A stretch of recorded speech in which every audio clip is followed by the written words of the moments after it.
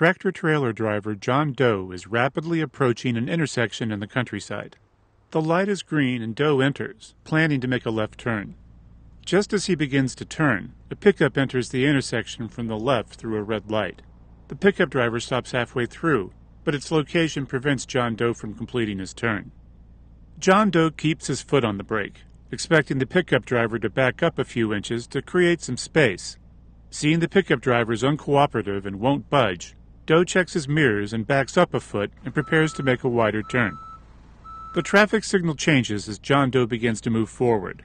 As soon as the pickup driver has a green light, he immediately tries to accelerate around Doe's truck and clips the corner.